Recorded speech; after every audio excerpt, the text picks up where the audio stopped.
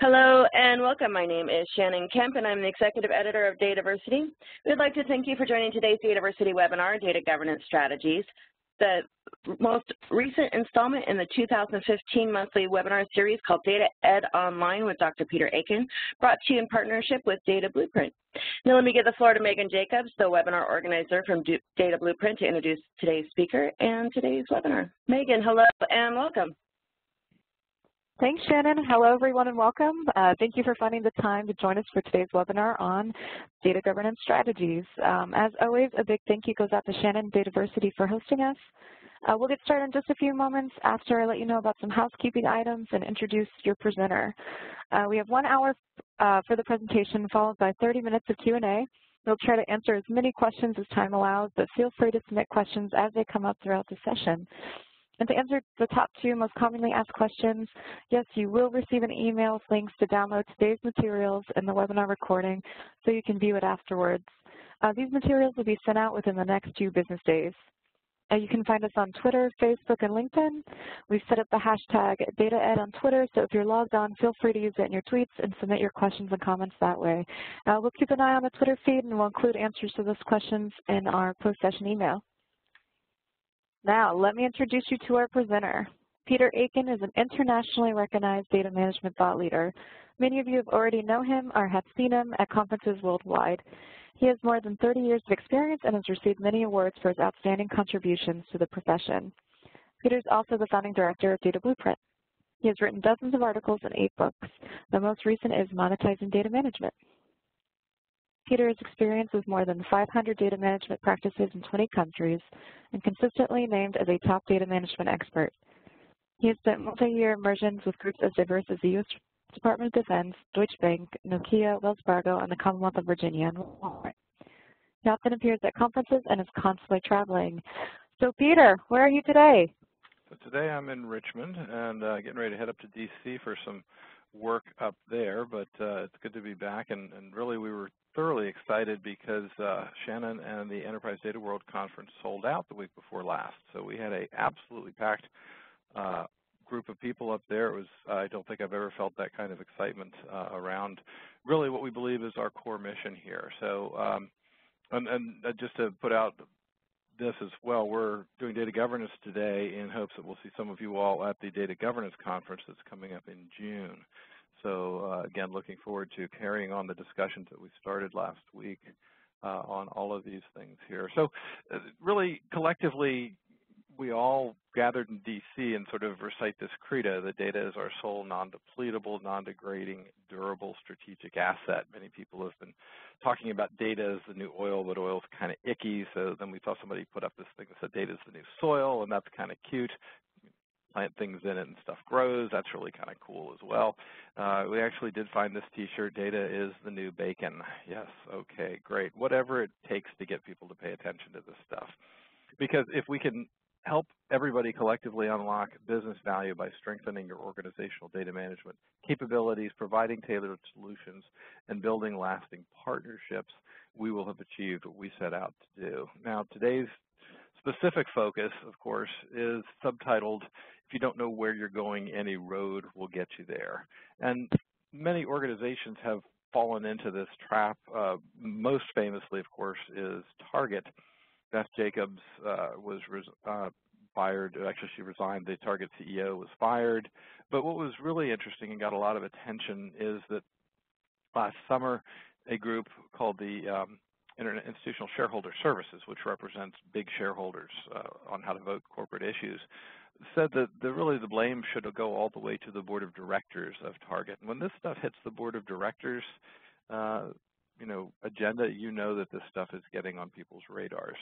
So Target had their issues. We're not going to talk a whole lot about them, but it, it is important to learn how to work with these. And, and Home Depot, even though it happened just, uh, you know, a couple of months after the Target breach, their CEO had not been prepared to talk about this. So after the breach was discovered, he put out a statement saying Home Depot is working around the clock to find the data breach.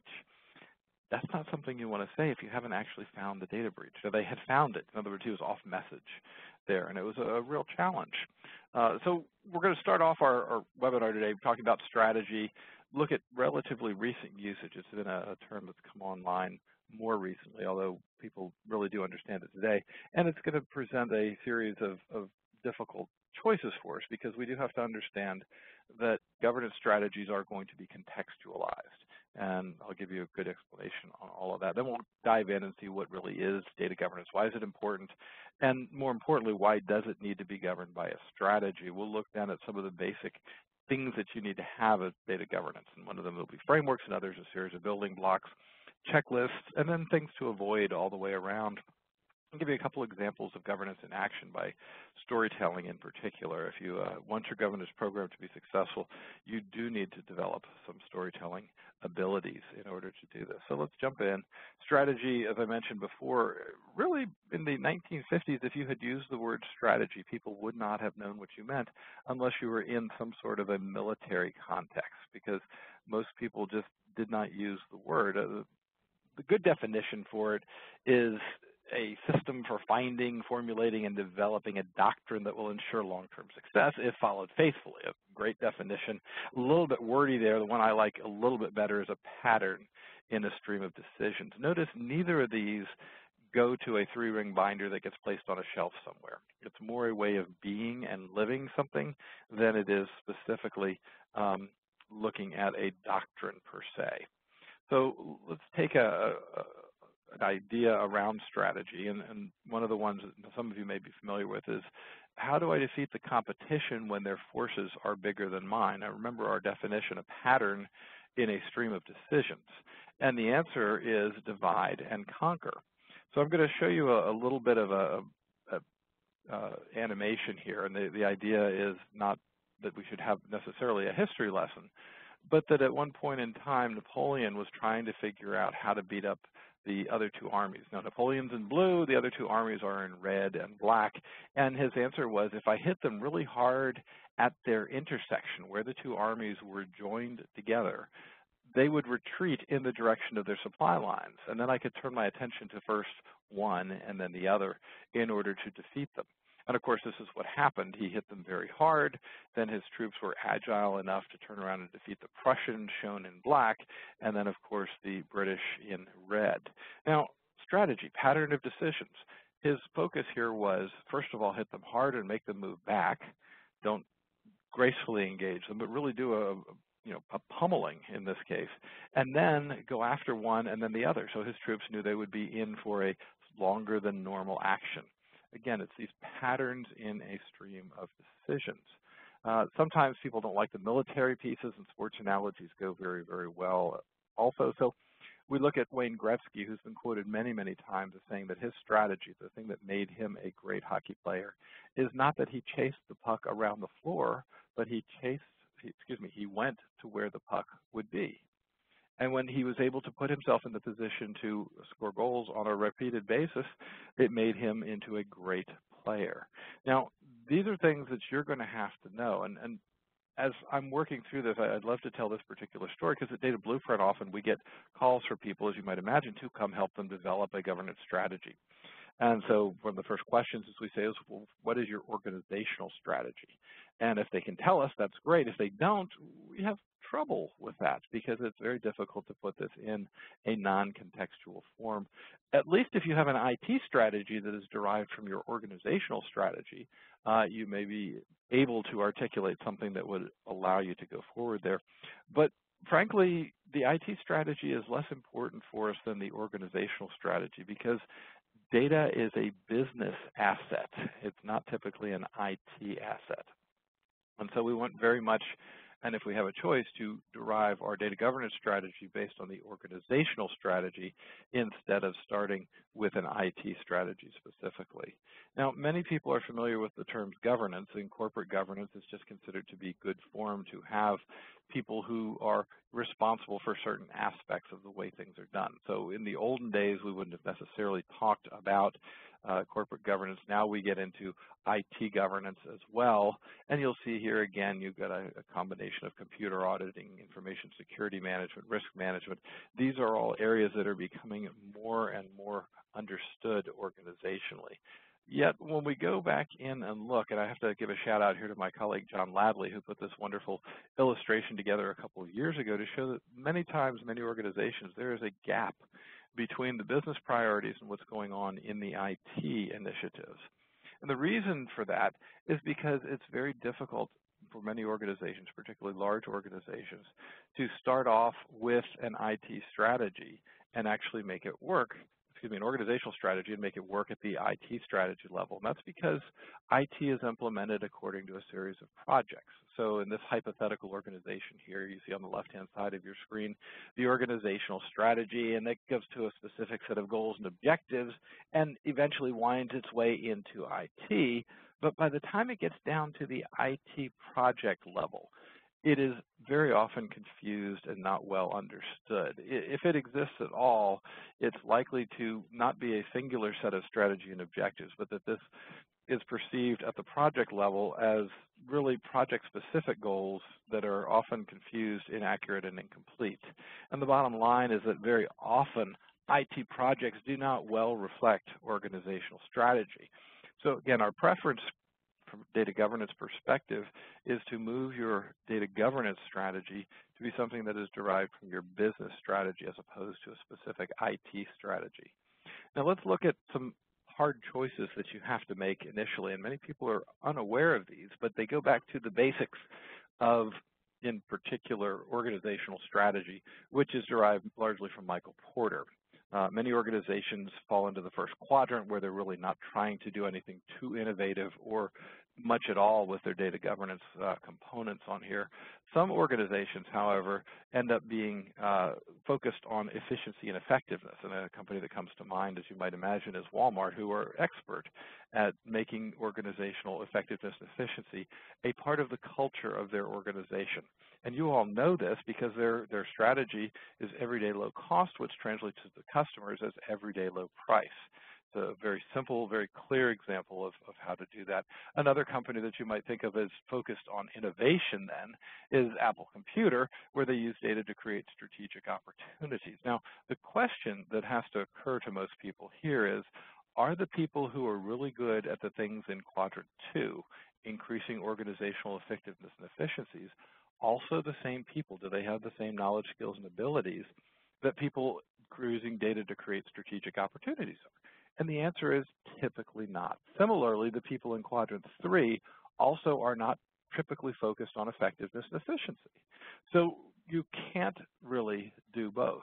And you do have to sit down and say, what should we be focusing on first? Now, it may be perfectly reasonable to say first what we should do is efficiency and effectiveness, and then create innovation, or the other way around. But when we look at these things over time, we just don't find most organizations, in fact, doing either of them formally. And that's why it's so important to try to put in place something like this. Now, this is a supplemental diagram. I'm not going to walk through it here, but the CMMI Institute has put out some guidance on this. And Melanie Mecca and I gave a talk two weeks ago in DC on this. We're going to carry that talk on at the Data Governance Conference coming up talking specifically about data strategy elements focused in this case on quality uh, in there. So I'll just put that up for your reference. We'll move now into the next component here, which is really looking at definitions. And anytime that you're out on the internet and you start to see lots of definitions out here, and these are all very good definitions, but it doesn't unfortunately uh, really help us to understand what's going on from a data governance perspective. So I'll just read a couple of them here. Formal orchestration of people, processes, and technology to enable organization to leverage govern, excuse me, data as an enterprise asset, absolutely. Uh, a convergence of data quality, data management, business process management, risk management surrounding the handling of data in an organization, great. Uh, Gwen's uh, definition from the uh, Data Governance Institute, system of decision rights and accountabilities, very clear definition there, for information-related processes executed according to agreed-upon models which describe who can take what actions with what information and when under what circumstances using what methods. Uh, again, very, very good definitions here. Rob Seiner from uh, KIK Consulting, he's the uh, editor behind TDAN, which I understand is getting a reboot sometime in the next quarter here Uh, if you haven't had a chance to go to tdan.com, again, very, very good publication that Rob's been working on for many years uh, out there. Anyway, his definition, the execution and enforcement of authority over the management of data assets and the performance of data functions. All of these are good definitions. I won't continue to read them here, uh, but it really does become a challenge for us. Now, the last one here comes from the DAMA DMBOK, and if you're not familiar with the DAMA DMBOK, the DAMA DMBOK is DAMA International's definition of the body of knowledge. And we've started now to work on these. And we're hoping that through these seminars and other things that we do, uh, many of you will be, in fact, uh, able to qualify for our designation called the uh, Certified Data Management Professional. Uh, I won't dive into those details. There's lots of information on the web, and we had uh, several hundred people take exams at the uh, conference on this. So another reason for going to these things really when you think about data governance, what you're trying to do is make sure that data is accessible, it's secure, it's consistent, it's high quality, and it's auditable. In other words, where did the data come from? Is the lineage clear? Does IT know who's using it and for what purpose? Uh, all great focuses in here. So my comment on all of this is that data governance should really have a purpose statement, which is to say, what does data governance mean to my organization. It's fine for those other definitions. They're great. Actually, I like this definition. It's managing data with guidance. Now, managing data with guidance means that what you're doing is taking a resource that was previously not as focused, not as well managed, and, and putting some guidance around that process so that people are, in fact, able to see what's happening. It means for your organization, particularly those of you that are getting started, or let me also suggest rebooting your data governance organization because we've seen an awful lot of people that sort of took their first attempt at this and didn't have the results that they wanted to get, and now they're looking at a, a, a rebooting of data governance on this. So it's getting some individuals whose opinions matter to form a body, and the body needs to have a formalized purpose, some sort of authority, who can then go out and evangelize, advocate, but not dictate, enforce, or rule with a process that we describe as data-centric development practices, increasing the scope and rigor of those practices. Because if we can do this, people will see that these things become relative and relevant. Now, many organizations, in particular when you think about upper level management, they have a lot of things on their plate. So they're going to say, why should I pay attention to this to the exclusion of something else that may be of interest to them. And the idea is, you know, yes, this stuff is important, and so are many of the other things that they deal with. It's absolutely critical to talk to them in ways that make sense to them. So we always help the organizations find, if you will, their own voice relative to data management. And this was one of our groups that we worked with where they literally said, getting access to data around here is like that Catherine Zeta-Jones scene, where she's having to get through all of those lasers. Uh, again, some of you may remember this movie. It's as a, you know, there's all these lasers, and she's trying to achieve a, uh, a jewel theft uh, in this process, and she keeps working at it. But this spoke to them. This meant something to them, and when we showed this little video clip, and, and they started to use language around this, management kind of got the idea that, wow, if they're having to do that much effort in order to actually get access to data, which is the thing we want them, of course, to do as knowledge workers, um, there's probably something we ought to pay attention to here. Now, there may be other types of articulations around this, and I'm showing in the center of this diagram one of the pieces that Melanie and I will be focusing on. We'll be focusing on the green, the data quality aspect of this, but this is what the new data management maturity model focuses on. And of course, you can see how that's going to be important. And it may involve decision making just trying to decide certain aspects of what's going on, or it may involve data quality challenges. It may involve performance, again, the efficiency and effectiveness things we talked to a little while ago.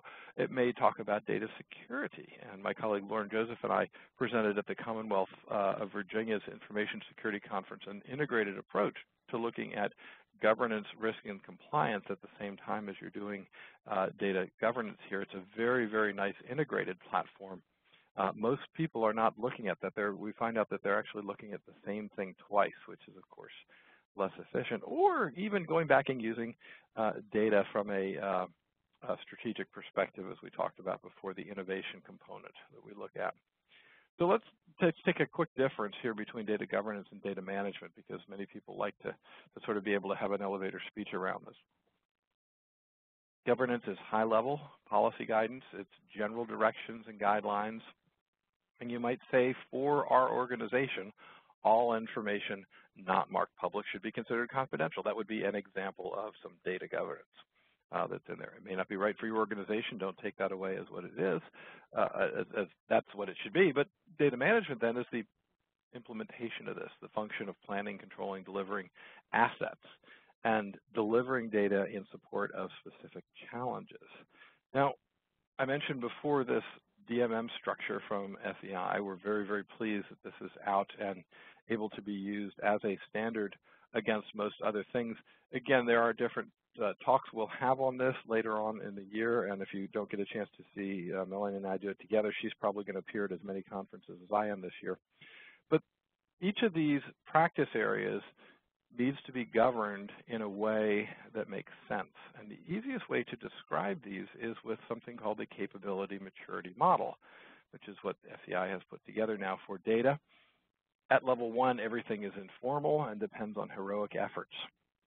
At level two, it's managed. At level three, it's defined. At level four, it's measured. And at level five, it's optimized.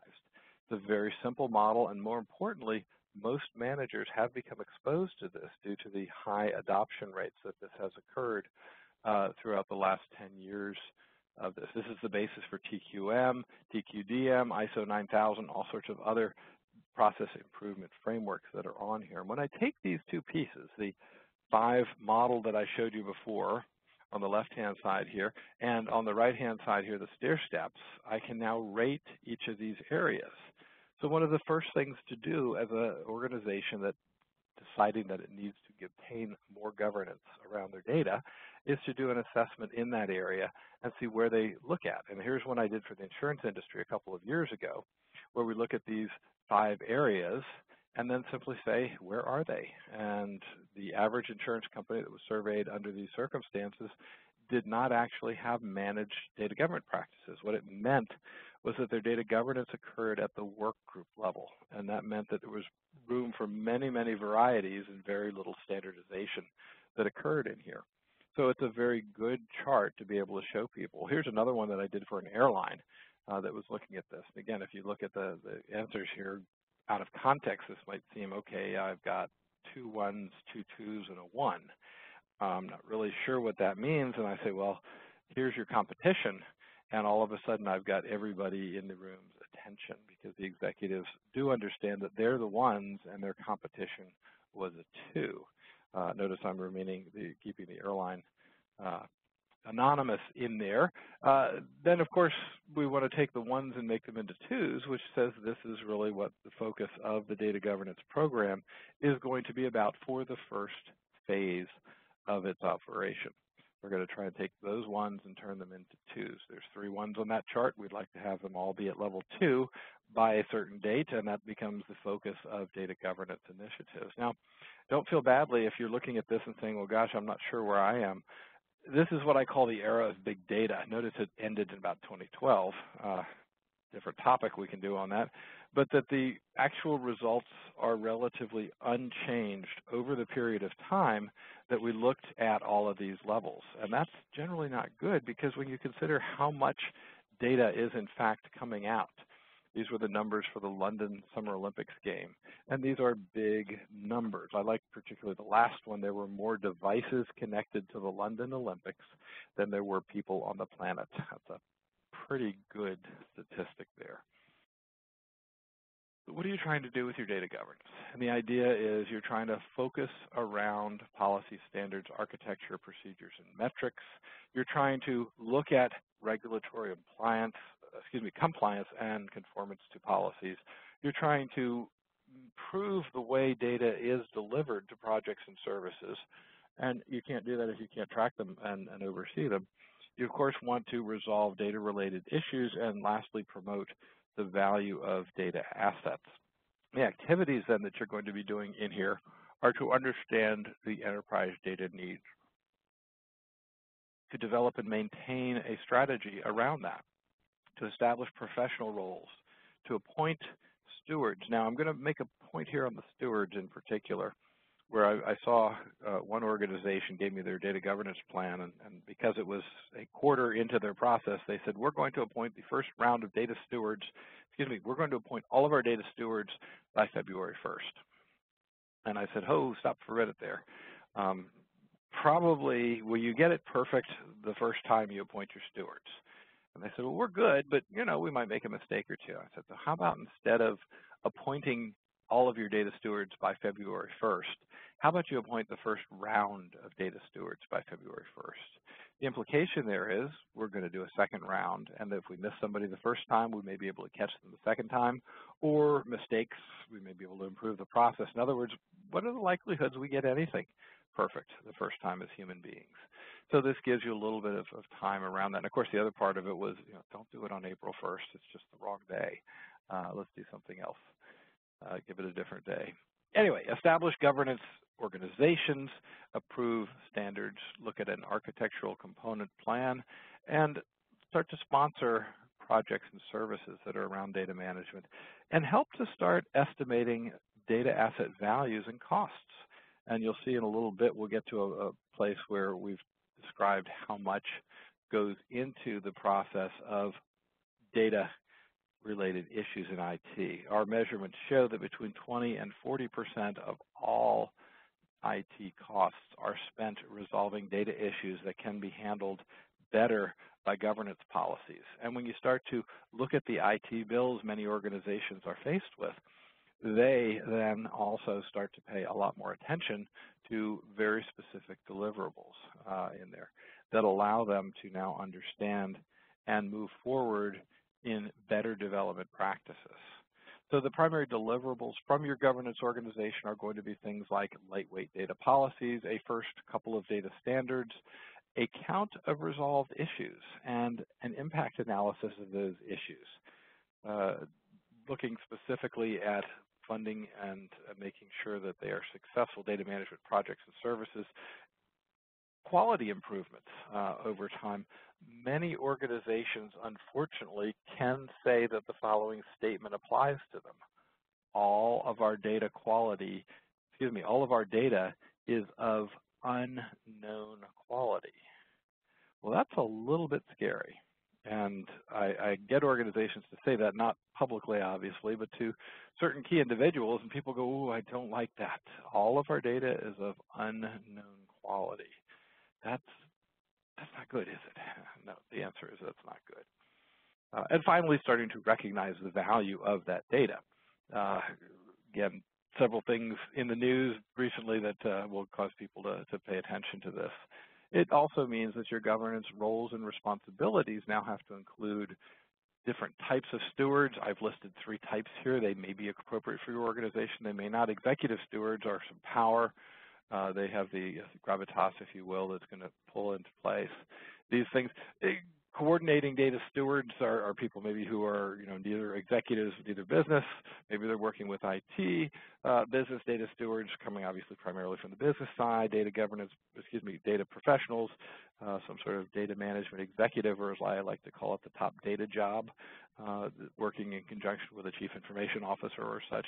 They're the suppliers of the, the data uh, pieces, again, the business executives, IT executives, stewards, regulatory bodies, and things that we're going to pull in from the external environment, ambient data sources. And consumers, of course, the knowledge workers in our organization are going to be focused in these areas. So again, the goal is not to sit down and put all this in a plan that is going to work perfectly from step one. It's to take some small steps and crawl, walk, and run your way up to a more professional program. Similarly, the tools that you will need in order to do this are very, very low tech, an internet website, email. Uh, if you've got some workflow that you can throw at it, that's great. Many people think that in order to have data governance, you must have a metadata repository. And the answer is actually that you must have something that functions like a metadata repository. one of the best things that a data governance organization can do, and I've seen this happen many times in the past 15 years, is that somebody will say, well, we need a metadata repository. And most of the repository vendors out there have very good products that work very, very well. But it's a fairly sophisticated product being sold to an organization that is perhaps not as mature or not ready to handle that. It's kind of like handing the uh, keys to the Ferrari to a 16-year-old who's just gotten their license. Uh, yes, absolutely, they know how to drive, but there's a responsible way of doing it uh, in there. So what I, I like to tell organizations is don't go out and buy a repository. Make one of your own in a relatively low cost fashion. You can build a metadata repository in a week. Uh, I've got a webinar out there that describes it, another part of the website here that you can get to and, and find out about it. And that after you play with that toy webinar, excuse me, that toy uh, repository that you've put in place for a year, then you'll be ready to have a mature conversation with the vendors. But until then, there's such a mismatch between the two, it really does not result in, in a lot of uh, adoption of these things. And my colleague Dave Eddy did a study on these things and found out the half-life of these repositories was about five years, uh, just not, not good as well. Um, you can use your existing issue management ticketing systems to, to work on these issues. Sometimes it's just a matter of adding a couple of metadata categories to that. Uh, it doesn't hurt to end up with some, some governance so that you have some, excuse me, governance dashboard so that you have the ability to track these things and to see what's happening overall because after all management is eventually going to come back and say so you've been governing data for a year what have you achieved well what we'd like to see is that you achieve some value of the data that you understand a bit more about how much it costs are you achieving objective achieving objectives that you've set out to achieve? Are you getting some decisions? To what sort of steward coverage do you have uh, in there? What sort of professionals headcount do you have? Again, these are things that you can come up with, which will eventually lead you to the process of assessing your overall data maturity in those areas. Again, these things cost millions each year in terms of productivity, redundant and siloed efforts, poorly thought out hardware and software purposes, some organizations are able to shift from reactive to proactive.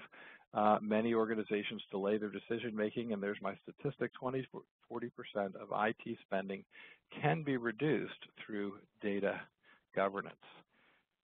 Now, again, as I look at these things over large numbers of industries, hundreds of hundreds of samples, I find that 70% of them return as close to zero as you can get there's little or no actual value that comes out of it. And only 30% of them have any positive return and that about 10% actually achieve positive return on investments. So there's two pieces to this. One, first of all, if you do this, the competition at this level, once you start to make uh, significant contributions, becomes very, very easy to quantify. And secondly, once you've started to do this in a way that is tangible, you can get better at it. And of course, that's really the key, isn't it? We don't want to just do this because we're not only going to be so good at it the first time through, but the second time, third time, we will actually get much, much better. Now, the reason this has been problematic is because we've had some terrible, terrible guidance that has gone to our uh, people that have come through and learned how to do this. Uh, this is because we do something called application-centric uh, development, which means that an organization starts out with strategy and moves to goals and objectives, and the goals and objectives then reasonably enough drive the development of specific systems as they're going through this. There's a problem with that. We'll get to it in just a second because once we start talking about systems, then of course we need a network infrastructure to put it in place, and that data becomes an afterthought in this entire process. And the problems with this approach are that it makes sure that the data is formed to the applications and not around the organization-wide information requirements, that any process architecture is narrowly formed around applications, and that very little data reuse is possible under the circumstances. Now, when we measure what we're looking at across things, the amount of data, excuse me, the amount of code reuse is very, very small. Uh, again, developing systems, as soon as we say something at step three that system X is going to be purchased, it sucks the air out of the rest of the conversation and we are not able to go through. And the reason is because we haven't taught people for years that information is an asset, it's an economic resource. But if you don't own and control it and use it to produce value, it's very difficult to justify the care and feeding of the data or the ability to put data to work in very, very significant ways. Now, the fiction that I described to you earlier is that systems development includes the development of data requirements. But if we think about it, our ability to create information systems components is a creation-oriented activity. When we are developing system components and capabilities, we are taking a capability that didn't exist and adding that capability to the organizational repertoire. Data is different. Data does not follow that pattern. Data evolves. It goes from one version to another. And in that process of evolving, you'll also note that it doesn't begin and end as all IT projects should. So the idea here is that first thing that your data governance initiative should be doing is raising awareness that we happen to have taught everybody incorrectly that they can develop their data and their system requirements concurrently. The only thing that can happen given those requirements that are developed concurrently is more small piles of data. Now, that's generally what people are trying to avoid. So the way to fix that is to make sure that everybody in the organization understands that data evolution is separate from, it is external to, and that it must precede system development activities. I'll say it a second time. Data evolution is separate from, external to, and must precede system development activities. If you don't understand your data needs, you shouldn't be developing any software and you certainly shouldn't be buying any software. This simple change has a profound effect because if we now look at what we consider to be data-centric development practices, we start off with exactly the same two first steps. An organization has a strategy and they have some goals and objectives and this data and information there becomes the next thing that they should develop. In order to achieve our strategy, we are going to need the following oil, soil, bacon, whatever it is that you want to call it. This is where the information layer needs to be developed. Then the network infrastructure comes in, and finally, at the very end of that process, we now start talking about systems. By delaying the systems implementation until a later stage in the process, you now have the ability to develop information or data assets from an organization-wide perspective. You're now able to support organizational needs in a way that complement existing process flows. And finally, you are maximally able to reuse data and information instead of minimally reusing software, which is where most organizations are when they measure them. Again, from a data-centric development perspective, it's an architectural practice it's an extension of existing capabilities. There are some challenges that are unrecognized in your organization, which means your technical engineers have different skills that they need to have. You're going to have to spend lots of time as a data governance organization devoting to communicating these ideas. There's a absolute scarcity of professionals in this area, and it does speak to the need for a specialized discipline. This is a quote from the book, obviously monetizing data management up there. When our organizations begin to transform to a data-centric approach, we begin to measure success differently than we did before. The same project, the same process, but different measures that include asking if the data is correct, valuing the correct data more than on time and within budget, valuing more correct data more than correct processes, and auditing data rather than auditing project documents. Uh, Linda Bevolo contributed a chapter there where she was able to, in fact, describe a very, very effective cost-benefit analysis in that particular process. I won't ruin her story for you, but if you need to, uh, if you have trouble finding the book, give me a shout. It's out there on Amazon. so these requirements then are understanding that data is very, very different from the way it has been. And in order to get started on this, you have the standard startup process. The left-hand side says assess our context, that's the assessment process that I described to you earlier.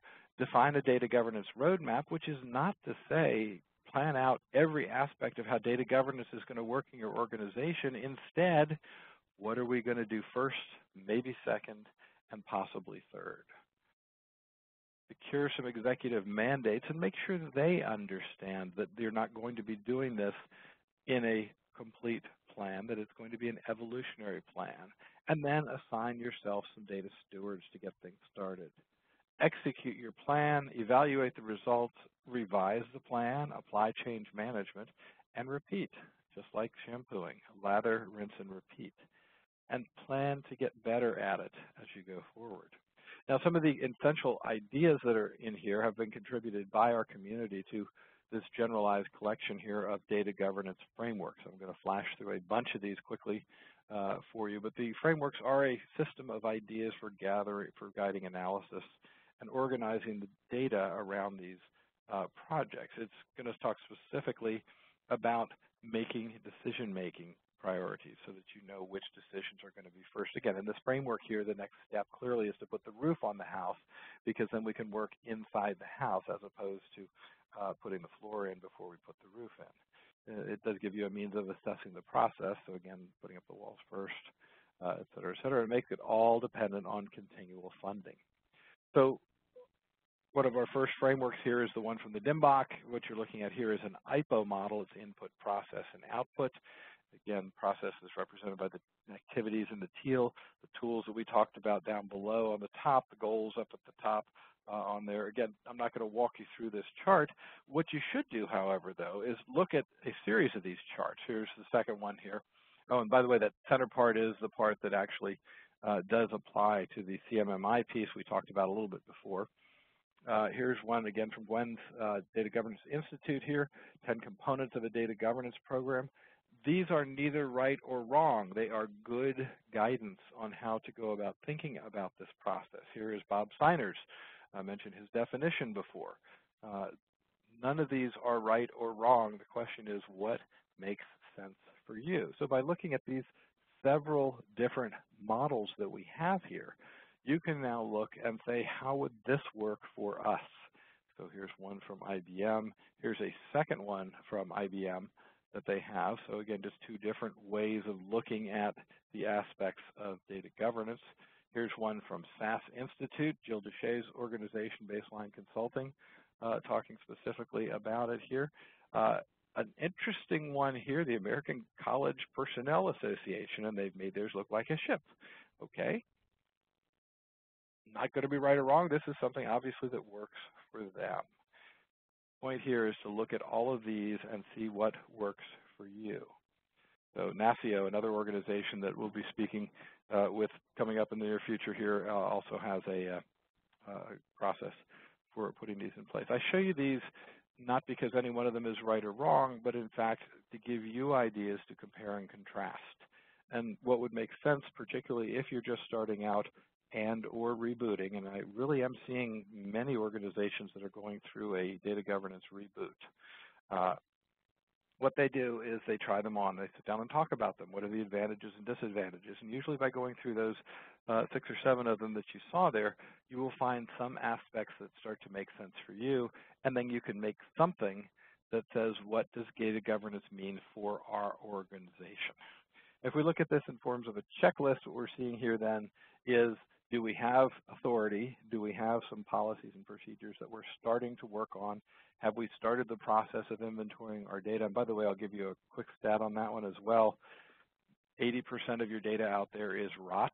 It's redundant, obsolete, or trivial. So you probably shouldn't be wasting any time or resources managing it.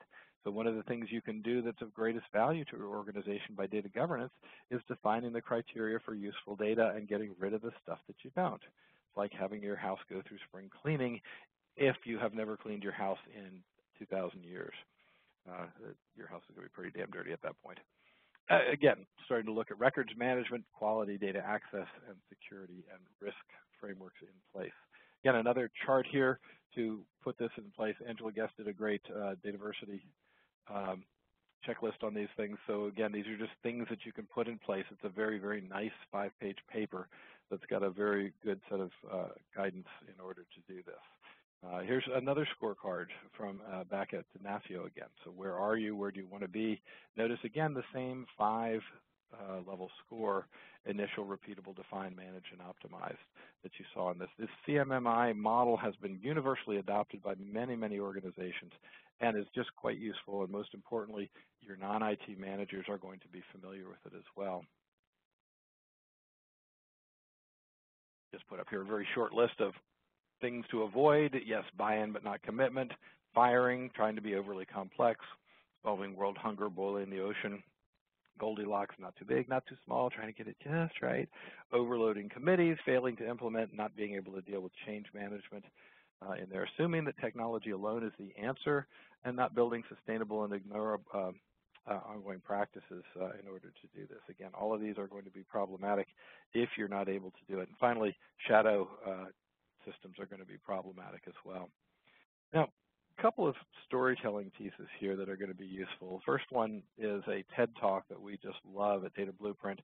Uh, Ted Sinek makes a great series of talks, and one of them he talks about how great leaders inspire action. And he notes that most people, when they're talking, are very good at describing what they do makes perfectly good sense, and it's a very reasonable thing that we should be good at it. However, we really do need to be informative, describe more about how we do things rather than what we do. Uh, that's kind of the secret sauce. But really, the, the secret to his talk here is understanding that if you've got the motivational stuff down, the why, everything else follows in a very nice fashion. So really starting with the why first is a much better option than instead starting out and describing what data governance is going to be. And if you have a burning bridge or an oopsie that the organization has gone through in recent uh, years, then check it out and see what happens in that and where you should do better and how perhaps data governance might have avoided the particular oopsie. Give you a quick example on that falls into that category from a storytelling perspective. Uh, I was with a group of the Defense Department that was uh, assigned to look at how Detroit made engines in, uh, excuse me, not just engines, but cars in the late 1980s. Uh, and the idea was we were trying to learn from best practices of industry. But one of the things we observed was that when engines were put on the assembly line and things were added to the engines, the success was defined as did it slow down the assembly line? And that was really the wrong criteria because what that meant was you could use any bolt to attach anything to an engine, which resulted then in different wrenches and different bolt inventories that had to be maintained as a result, meaning maintenance of those engines was a much more complicated process. Toyota would stop at that level and then rethink and say not how many different bolts could be attached to it, but how many bolts could use the same size bolt assembly and that gave them ideally one bolt inventory and one specific type of wrench, uh, which meant that their engines were easier to maintain and actually had better performance records than the things that were coming out of Detroit during that decade. Again, a story that you can certainly analogize to many of the information and IT products that are developed by organizations today, and I've seen a lot of organizations that could use improvement in that area. Another quick story, many of you are familiar with healthcare.gov. Of course, the real problem there was that it had 55, not 55 contractors, but 55 contracting organizations who were trying to work with it. And anybody that knows anything about IT projects and realized that they were six weeks from launch and they still had not finalized certain requirements, this was absolutely a recipe for disaster. In fact, uh, Standish Group Chairman Jim Johnson said anybody who's written a line of code or built a system from the ground out can't be surprised or even mildly concerned that healthcare didn't work. It, real news would have been if it actually did work. The fact that it ended up working was success in and of itself. But interestingly here, another person who took a look at it, a fellow named Marty Abbott, who was one of the, uh, the people set in to help uh, diagnose the problems with it, he said it was pretty obvious from the first look that the system hadn't been designed to work correctly. Any single thing that slowed down would slow everything down. So if you can imagine your window, uh, motorized window in a car, slowing your car down, that's the way the healthcare.gov was, was put in place. Another component to this too that was a problem from a governance perspective, many of the the, the components were developed using traditional languages, but that some of them used big data technologies. And when you tried to mix the two, what you ended up with was one part of the organization saying, tell me what SQL to write, and the other part of the organization saying, no, no, no, we're not using SQL in here. SQL will not give you the results that you want to have. Now, that may be a little too technical for some people, but again, governance would have prevented this from being, uh, uh, again, even an issue in there if they had had good governance around this. Another governance story that we did, this was one we did for helping the U.S. Army uh, become better about this, and the thing that was really wonderful here was that the, the Army basically governs everything, and when we pointed out to them that governance, the data was not part of their scope, they went, oh my gosh, there's something ungoverned, we got to fix that right away. And that's exactly what they did. So we used their own culture to motivate them around that aspect of the process. Now, the next thing that goes on here is that you see we did a project for the military where we were working with the Suicide Prevention Project. And this project uh, obviously was one that was very near and dear to the hearts of people who were involved in it. And we ended up having a governance issue where different people were doing different things on the project. Somebody would say, I can use this data for this part, this data for this part over here. And we had what we called a council of colonels that we put together on this. And the Council of Colonels would sit down and try to figure out how they could make something work within certain constraints. Now, we were very fortunate and had a senior Army official that we were able to bring into one of the meetings uh, in there who brought a very heavy dose of management support. And by the time in one of these meetings, the third person had said, you can use my data for this purpose. He stood up, put his you know, attache case on the table, made an absolutely thumping noise like this that got everybody's attention in the room. Remember, all these people were colonels, so they weren't able to uh, uh, argue with the uh, individual in this case and said, uh, let's just get one thing straight here, folks. We're here to help to save the lives of the military. And uh, we're going to call all this data my data from this point onwards. Just that little change there absolutely empowered the team and changed from a can this be done to how are we going to accomplish it conversation. Uh, he also made it clear that mistakes would be tolerated along the way, and we were able to build a workable prototype uh, under these circumstances. Again, the goal here was to save lives. People were thinking in one way, but the application of governance in this case enabled people to really change. Now, I've told this story dozens and dozens of times over the years if I could get certain CEOs to adopt a similar position that the data belongs to the organization and not to the individual lines of business, these organizations would have savings that could be measured in hundreds of millions of dollars uh, able to do this.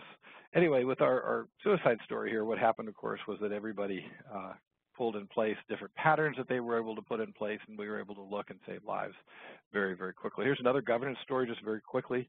Uh, one organization had trouble distinguishing between different types of tanks. And so consequently, we outlawed the use of the term tank in their organization.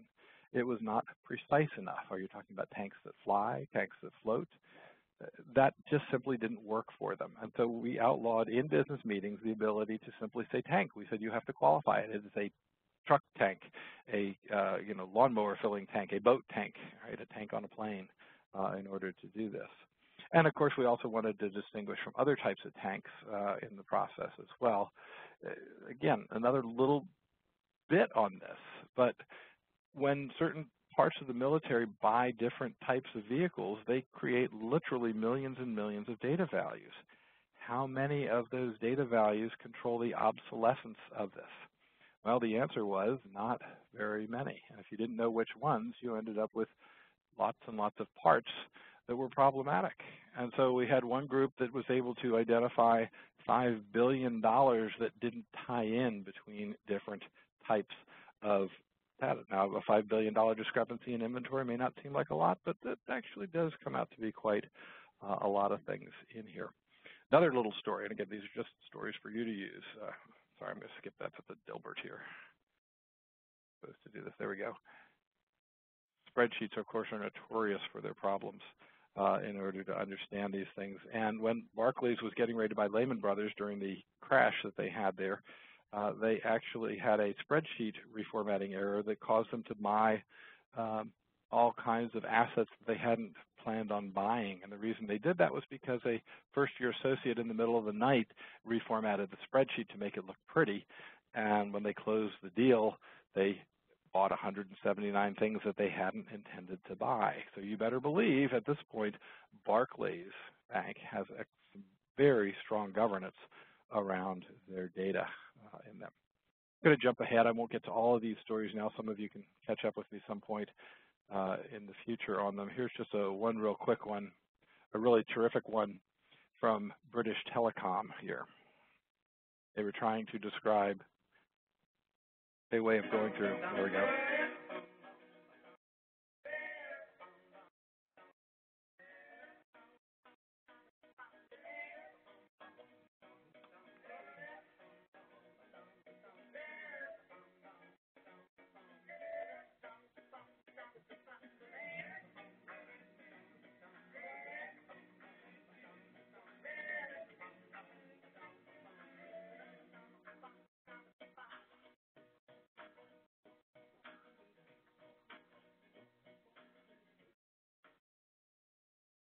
Now, the story here was that British Telecom had some challenges around their data, and their governance organization needed a way of describing to everybody else how this new technique that they were going to apply, in this case called master data management, was going to in fact produce better results for them. That's a little, really 45 second animation there. Cost them about 500 British pounds to have it put together in Flash. But when it came from the lead uh, official in the organization, who was able then to, to articulate this very, very well uh, to the rest of the organization, it became much, much easier for everybody to understand what was going on there. Now, if you want a copy of that automation, it's out there on our website. You can take a look at it and uh, download it. They said they were happy to share that uh, with everybody. The, to, to sort of come up with our takeaways here then, data governance is a lot like Maslow's hierarchy of needs while we like to do the fun things that are there, those things really represent just the tip of the iceberg and that these foundational practices around governance are much more important, starting off with a strategy, and you can see governance is one of the key pillars that are related to that, but that these foundational pieces are related by what we call a weak link in the chain method. That means that the entire foundation is only as strong as the weakest link. If data governance is a weak link in there, you need to fix that in a way that's going to work before you're able to do this. Most organizations concentrate on technologies, data governance strategies focus on building organizational capabilities because absolutely the technologies will change over time. And we're always asked the question, you know, can we do this without all that other stuff? And the answer is yes, of course you can do it without putting governance in place, but it will take longer, cost more, deliver less, and present greater risk to the organization than if instead you learn to crawl, walk, and your, run your way to the very top. So from a takeaway, data governance is increasing because of the volumes and because of the lack of practice improvement. It's a relatively new discipline. It must conform to existing constraints. There is no one best way, and you need to crawl your way forward in this. It's got to be driven by a strategy that complements the organizational strategy. Comparing frameworks can be very useful to help you get started on this. It directs then the efforts that are going on in data data management. And one thing I haven't stressed here, but I should have stressed more in the presentation, is that the language of data governance is in fact metadata. If you're not able to describe it in terms of metadata, you will not be successful in terms of your program, and that process improvements then can be used to improve these data governance practices around here. We've got two more slides on this. There is a Dilbert that goes into this. This is what you don't want your data governance to be understood as. The committee decided that the file naming convention will start with the date in the order of month, year, and day, and then a space, the temperature at the airport. The hat size is near a squirrel. So to be perfectly honest, it was a long meeting. We probably didn't do our best work towards the end of this. So be careful. You do not want your organizational data governance to fall into a trap here.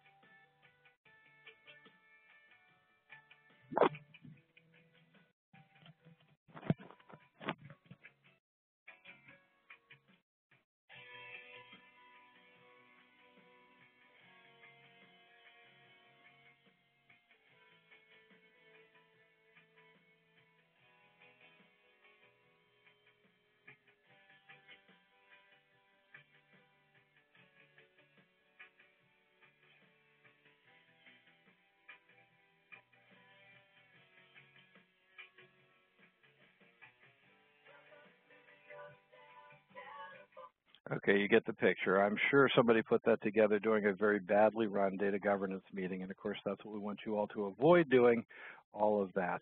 Uh, just to finish off the presentation here, I've got a lot of checklists and things at the very end that you will be uh, getting from the downloads on this, as well as a set of references on uh, uh websites and books that are useful in there. And now we get to the best part of the program, which is where we get to answer your questions. So Megan, I'll turn it back over to you. All right, now it's time for our Q&A, time for you all to ask your questions. So just click on the Q&A window feature at the top of your screen. Uh, you should be able to submit your questions through that Q&A window. And we've had one come in already, so let's go ahead and get started. Uh, the first question is, what exactly is entailed by a data governance reboot? um, well, I've seen it everywhere from uh, a, uh, a, director of data governance being uh, reassigned to another part of the organization and uh, uh, the organization tearing up the old stuff and saying that didn't work, we need to try it a second time to uh, an existing organization that just says, you know, we tried to get that, but we've really gotten some guidance from some people that could lead to some more immediate results, so we've revised from a five-year plan to a 90-day plan. Uh, so really, we've been at this long enough. I think I did my first Rekindling Data Governance seminar in 2010. Uh, so we, now that's 11, 2011 uh, on that. So we, have had, if you will, recognized challenges in that area for at least five years. Uh, with the reboot, what you're really talking about here is that, you know, somebody puts in place this thing where you say we're going to do data governance, what does that mean? And somebody's got a very involved plan, and the thing gets in the way of actually producing business results. Uh, that's of course the last thing we want anybody to perceive data governance as is something that gets in the way of business results because executives aren't stupid. They'll figure this stuff out pretty quickly and move into a posture that says we'll go back to the old way of doing it. Let me give you an example that, that Lewis Broome, who is our CEO, likes to tell. Uh, apologies for Lewis for stealing the story, but he's not here today.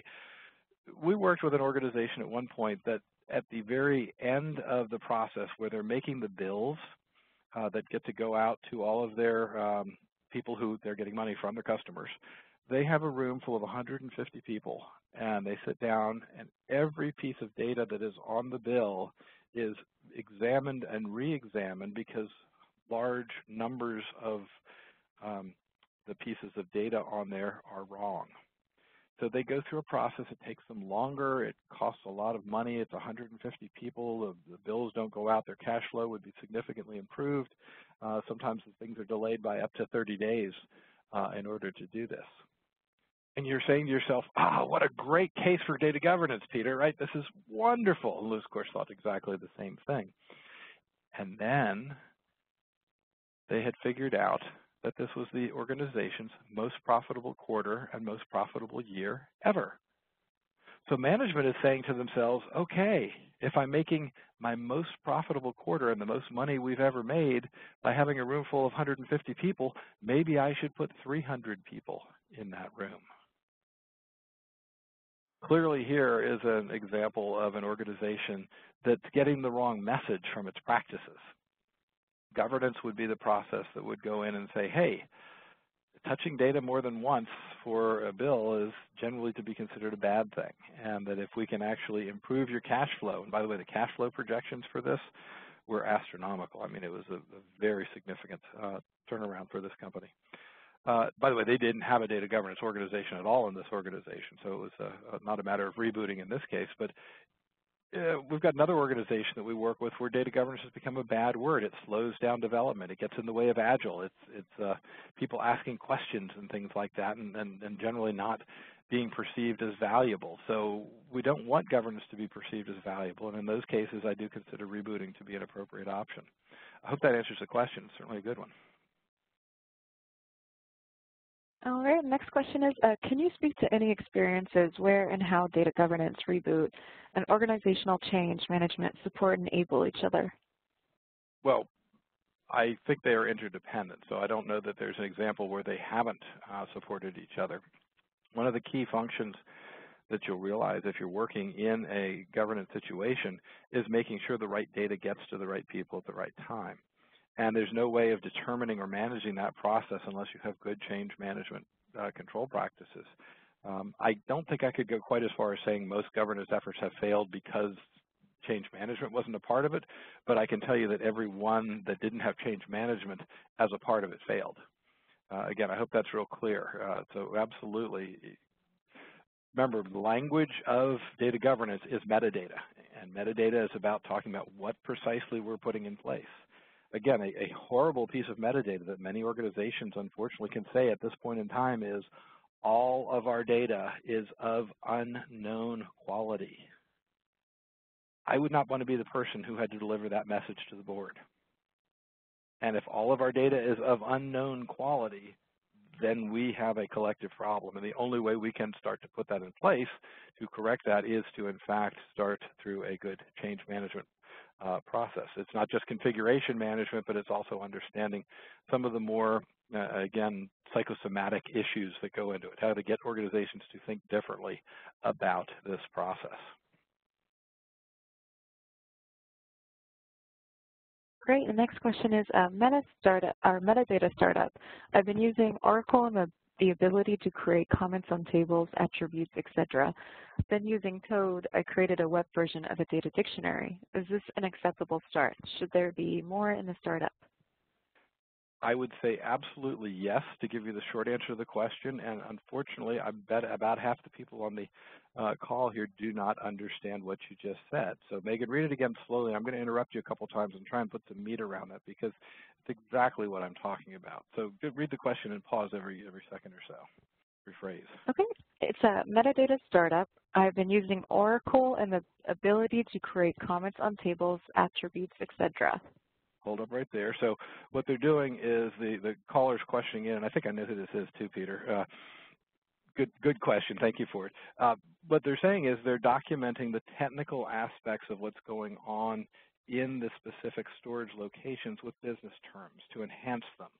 Uh, they're, they're making it more useful. So it doesn't just say column one, but in fact says person's first name used in this system. Okay, next phrase, Megan see here. Give me one second. Then using Toad, I created yeah, a web version of a data dictionary. Okay, so Toad is a freeware product for Oracle systems. It's the Oracle um, T-O-A-D uh, analysis dictionary, I forget. But it's a, a freeware piece of software that the individual has used to take and put in place some publicly available definitions so that if anybody wants to, they can look them up. So we've taken these definitions. We've enhanced the technical definitions with business terms. We've added some business terminology around it, perhaps relating it to some of the business practices that occur. And what they've done is created a metadata repository-like functionality. All right, go ahead. Is this an acceptable start? Uh, it's more than acceptable. It's a great way to start. The best thing that you can do next is to find a business sponsor who will use the information that you've produced in this sort of repository-like functionality and say, okay, what if we extended the scope of this particular piece beyond the database that has been documented now to include data that travels between systems or across divisions? This executive would then be the person who would say, you know, if I could achieve and let's just pretend the number is a million dollars worth of savings. Now that's a large number for many organizations, but it's not a large number in terms of being able to save 20 to 40% of your IT costs annually. Then you can go back out to the vendor and instead of saying, you know, I'd like to buy a metadata repository, can I have a conversation with you about it? You can say, how does your repository improve on this business solution that I've already delivered? And I can guarantee you the salespeople aren't going to be able to answer that question. They're going to have to go to the next level of support, which is where you know you're having a really, really good engineer. Uh, we'll look up and see who submitted that question. That's an absolutely great question. I hope everybody understood that. That was it's kind of tough to to do that visually here. Uh, sorry, with just voice, but a great great one. I wish I could tell you I'd planted that one as an illustration. Thank you. Okay, the next question is, uh, what is the best intersect between DG and EIM or MDM programs? Do we need to establish GG, well, DG before we start EIM master data management projects? Oh boy, well again, a phenomenal question. If you guys will bear with me for a quick second, I'm going to pull up a chart here. This is not part of the presentation. We'll include it in the chart, however. Uh, excuse me, in the uh, program for this. So, so the question that they're asking is, uh, again, they're talking about interdependencies here. So here's the answer, uh, which probably doesn't mean anything to anybody specifically right there. But the question is, what are the interdependencies between data governance and in this case they were asking about master data management. And I illustrated it in this case with uh, data quality as well. Now I was telling a different story using this chart. But if you look the way it works here, data governance makes the case and is responsible for data quality data quality is a necessary but insufficient prerequisite to the success of master data. And master data governs, excuse me, the master data capabilities constrain the governance effectiveness in here. So here's one way of illustrating how all of these things are absolutely interrelated and dependent on each other. And your data governance organization, instead of sitting through boring meetings, making up the words to Hotel California, uh, would actually be working on solving business problems by showing how if you implement one of these by itself, it can help, but if you implement three of these in a nice integrated, coordinated fashion, you can end up with much more than 3x results on this uh, an exponential increase in the effectiveness of this thing here. So again, great question. I wish I could tell you guys I had planted that one, but I didn't, so I'm going to copy that out of that slide and paste it in here to the end of the presentation so you guys can have a copy of it. All right, the next question is, uh, what government agencies are currently using or considering using the CMMI DMM model? Well, um, I can name a couple off the top of my head, but I don't know that it would be anywhere comprehensive. And when you say government, do you mean state, local, or, or federal government? Um, certainly the federal government has, uh, let's see, uh, I believe the Interior Department uh, is looking at this. I believe Energy is looking at it. I believe that uh, many parts of the Defense Department are looking at it, and I'm certain that is an absolutely incomplete list. Uh, maybe Melanie, if she, uh, again, Melanie Mecca, uh, if you Google her, she will likely turn up on the internet pretty quickly for you. She could probably give you a more complete list. Um, I think that, again, you will see virtually all of the government uh, as well as industry going for this, uh, this uh, process improvement framework because it does represent a very simple and effective uh, piece of, of intellectual thought that appeals to technical and non-technical people alike. Uh, so again, I hope that answers your question. I, if you want a comprehensive list, again, please get in touch with me. I'll get you in touch with Melanie, or you can try and get her direct. I'll have to remember to tell her we uh, we shouted her out on this one, right, Megan? Yeah, definitely. All right. The next question is, uh, how did a data governance project lead to five billion in cost savings uh, you showed in the presentation? So great question, and I, I, did qualify that slightly. What we showed was a $5 million, excuse me, billion dollar discrepancy uh, which is not exactly the same thing as cost savings, but it did add up to lots and lots of money. Uh, it was over a billion dollars in savings uh, on the thing. What happens is when you're managing large items, and those large items have expiration dates on them, it costs a lot of money to store those large items and to maintain them and to take them out and test drive them and make sure they've got the right parts and equipment and type of oil and fuel and not to mention the weapon systems that are involved in that particular uh, set of uh, uh, technologies that are there. And if they're obsolete, why would you spend any time doing them at all? So you get the picture very quickly there. It's not just a matter of that we're, we're we're maintaining things that shouldn't be maintained. Uh, it'd be kind of like somebody saying, okay, we need to maintain all the biplanes because we might get attacked at some point, not realizing that a biplane is not a, a, a technology that the Air Force uses. Um, we've actually had some, uh, the trucking companies that we've been working with occasionally will discover that parts of their fleet are obsolete and that they shouldn't be using them. And again, better data governance can lead to better management of those assets. And when those assets are better managed, we know to get rid of them, pass them on to somebody else, uh, put them out in the desert, whatever it is you do with your obsolete equipment uh, at the end of it. So thanks for, for the question in there. Again, it was not a $5 billion savings, but it was definitely a $5 billion mismatch between what they thought they had and what they actually had. And that's uh, quite a bit of money under anybody's circumstance. Okay, next question is, uh, what are the top points you would present to a state governor to put his support behind a data governance and data management initiative? I think that the most important thing to understand, and that's a really interesting question because we're doing some very interesting things here in the Commonwealth right at the moment. Um, so uh, I've never been asked to do that before, but I, I would certainly say that uh, the good, hardworking people in the various state agencies are doing the best they can given the circumstances, but that at the most, without data governance, their efforts are coordinated at the work group level. And at the work group level, things can be effective. But if you take the things that are being done at the work group level and elevate them to the department or the agency level, they can be more effective and sometimes by several orders of magnitude uh, in order to do that. Uh, I mentioned the book a little while ago. There actually are a couple of state government stories in the monetizing book. Put it back up here on the screen so you can see it. And um, uh, they are actually real stories that talk about it. So the, the key points for the governor is that, uh, you know, everybody manages the fiscal assets of the state in a responsible and in an expectedly responsible fashion. Uh, people would not support, for example, the practice of anybody being able to spend money on anything. Uh, there are certain constraints put by the legislature and by, by statute uh, in order to do that. Data is also an asset, and in order to um, to manage data as assets better, it needs to be governed. So again, we go back to our basic definition and say we're governing our data with some guidance. I would add one more piece on there too if I were presenting to somebody uh, at a state executive level and, and also illustrate it with a story.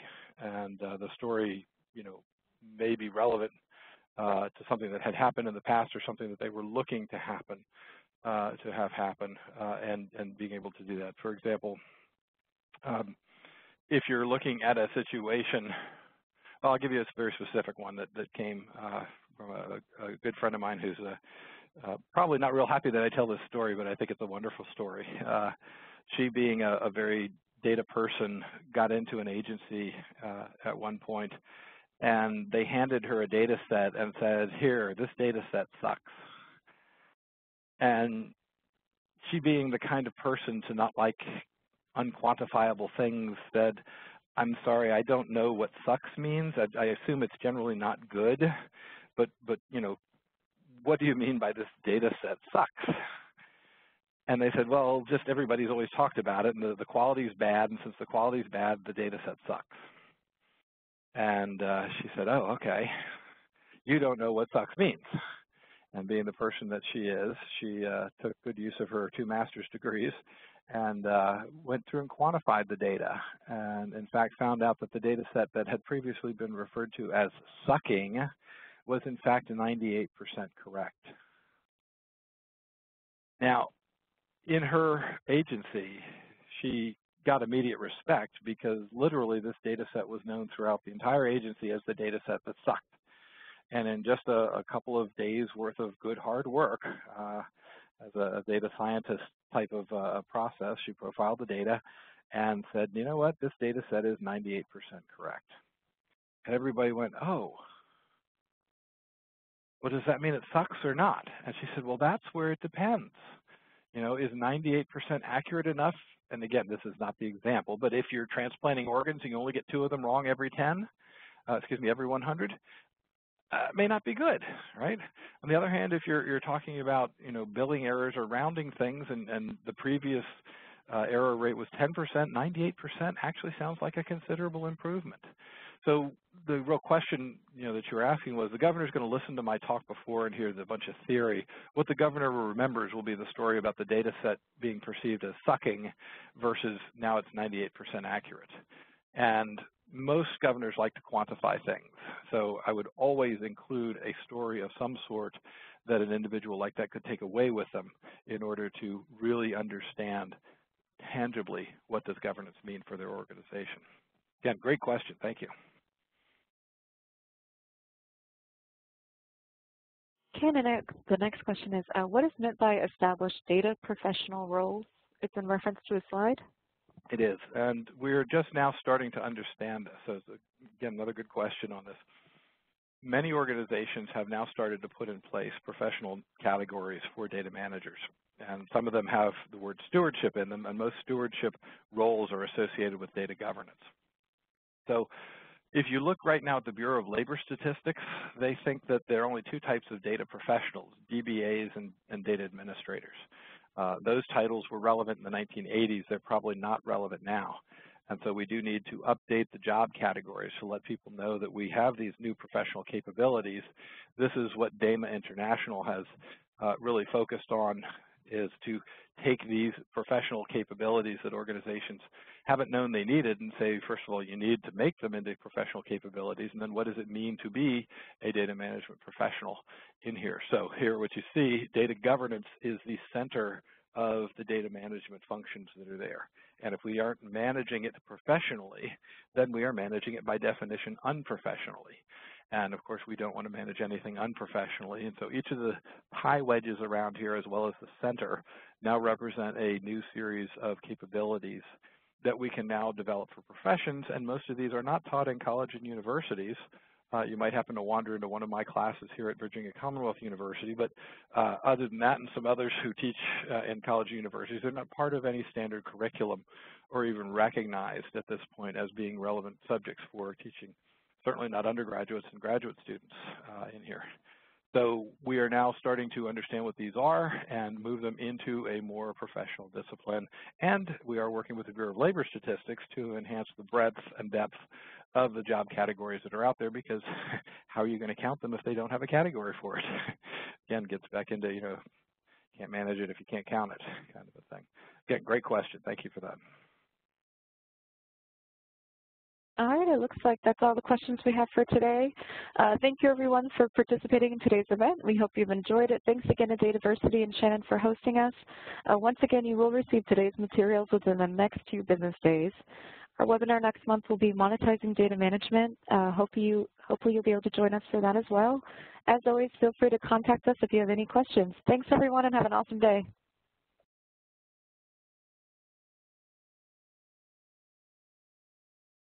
Shannon, did your internet stay up? Yes, it did. There we go. it did. Thank you, uh, Peter, for another fantastic presentation. And thanks, as always, to our attendees who participate in everything that we do and ask such great questions. And Megan, thank you as well for facilitating. And as Megan said, I'll get the um, slides and, and recording out within the next two business days. There was also a um, request for um, a report that you mentioned, Peter. I'll get you that request, um, Megan, so that we can get that in the follow-up email as well. And, and I hope everyone has a great day. In the slides, I'm sorry. so you'll be able to get it. Thank yeah. Sure. All right, everyone. Have a great day. Enjoy. Give me all your technology work. yeah.